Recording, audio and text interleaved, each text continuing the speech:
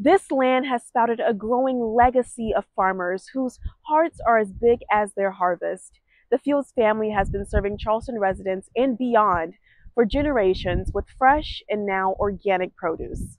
The Fields Farmers Market is a staple in Johns Island, supplying locals with produce that has a taste you just can't get at the grocery store. It's not as flavorful or potent of a flavor. It's more muted. Whereas when you get the stuff, especially when you pick your own strawberries, I mean, it's just like biting heaven. The legacy of this Gullah Geechee family dates back three generations with Robert Sr. and Nancy Fields. Joseph has since taken over the stunning 50 acre farmstead and continued on their legacy. I learned from my parents. You know, I was a young fella. I would go to the farm when I was young and watch my daddy plant stuff and harvest stuff. And had to hold it and keep it clean and whatever. Now we use plastic, plastic mulch to keep it clean. And as farming is a job that you have to love it. You know, it's a tough job, but you got to love it.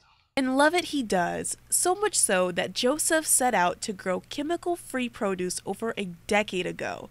Now he is certified organic. So organic is nothing nothing easy to get into. So you gotta know where to get the chemical from and the fertilizer from, how much you use or whatever. And it's it's a job because if you don't have the right chemical, the bugs eat you up. If you don't got the right fertilizer, the stuff wouldn't grow.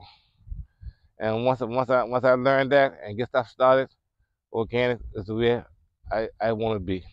As a farmer, especially in South Carolina, the ongoing drought could drastically affect crops. You couldn't control the drought because once it gets dry, everything don't don't last as long. You may have a, a good crop this week, and by being so dry, next week it done gone you know, you got to have some type of water to keep it going or the drought will wash you out. However, Joseph says the drought is not washing him out, as the Fields have an irrigation system running throughout their farm that they implemented back in 1998.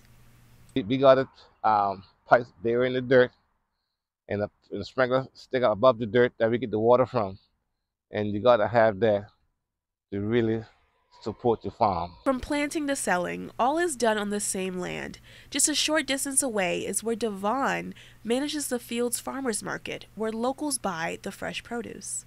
You know, and I love what I do. I love the customer service. I love the fact that people rely on me to help them eat healthy. But originally, Devon did not aspire to work on the farm.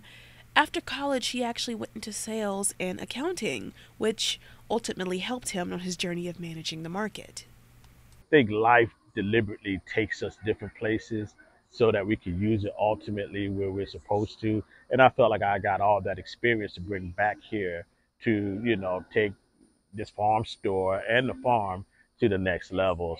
When Fields Farm was established in the 1940s, Devon mentioned that it was a necessity at that time, as his family was of Gullah Geechee descent, and they didn't have many skills apart from being farmhands.